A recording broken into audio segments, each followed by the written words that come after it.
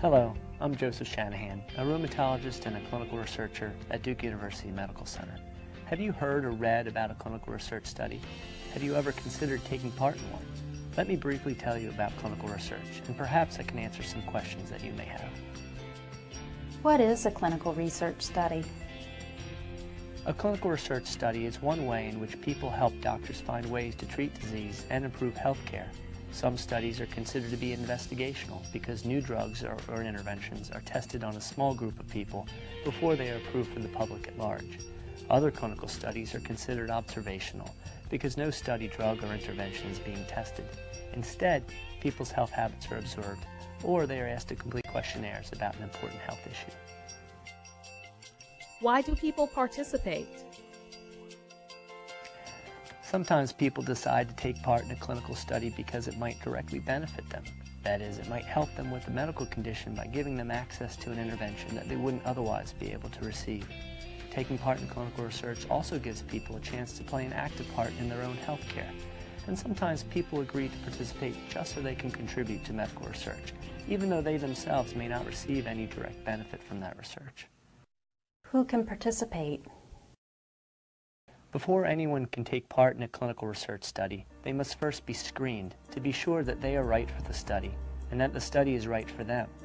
All research studies will follow established guidelines specific to that study, describing who should be included and excluded. Sometimes a study will be looking for people with a particular medical condition, and sometimes a study will want healthy volunteers. If you are interested in participating in clinical research, you'll be asked to provide information about yourself that will help the investigators determine if you are a good candidate for the study. These questions might concern your age, the condition being studied, treatment you've already received, and other medical conditions.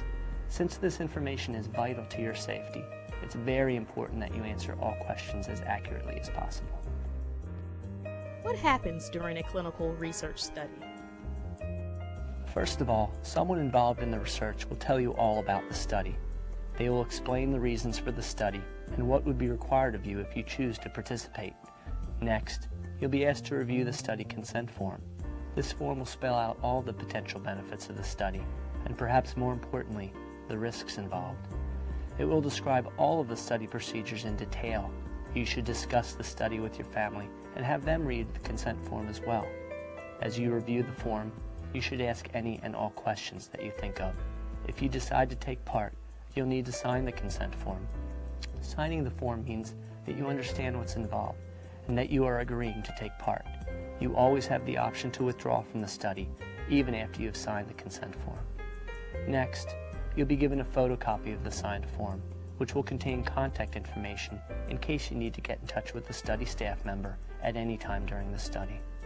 Typically, the next step in clinical research is randomization. What is randomization? In investigational studies, participants are typically randomized to one of the study groups. Randomization means your assignment will be assigned by chance, as in a flip of a coin. Neither you nor your doctor will be able to choose your assignment. Randomization is done to eliminate bias and to ensure that the study groups are as similar as possible. Eliminating bias in clinical research is done so that one outcome is not favored over another. Randomized research studies are considered ideal because doctors can be confident that the research results reflect the true effect of the study drug or intervention, not the differences between the makeup of the study groups. What if I change my mind and no longer want to participate? You may withdraw your consent at any time and drop out of the study. However, if you decide to withdraw, you'll need to tell the study staff of your decision. You may need to undergo some final tests and procedures. What are the risks the risks involved in taking part are that the study drug or intervention might not work, or that it might cause side effects. Side effects are problems that may be associated with the intervention. These effects can range from unpleasant to life-threatening. You will be told of any known side effects before you agree to participate. In addition, known side effects will be described in the consent form. How will my safety be protected? The same legal and ethical requirements that govern any medical practice also apply to clinical research. Clinical research is very closely controlled and has built-in safeguards. By law, Investigators have to follow very specific procedures. If you decide to participate, you'll be monitored frequently to check your progress and to make sure there are no problems. If you feel you are having problems between your study visits, you should let a study staff member know as soon as possible. In addition, all clinical studies have to be approved by an institutional review board, known as an IRB. The IRB is made up of both medical experts and a member of the community. The IRB makes sure the study is as safe as possible and that participation by people is worth any risks involved. The IRB has to review and approve the study before it begins to be sure it is ethical and that the rights of participants are being protected. The IRB will also review the study annually.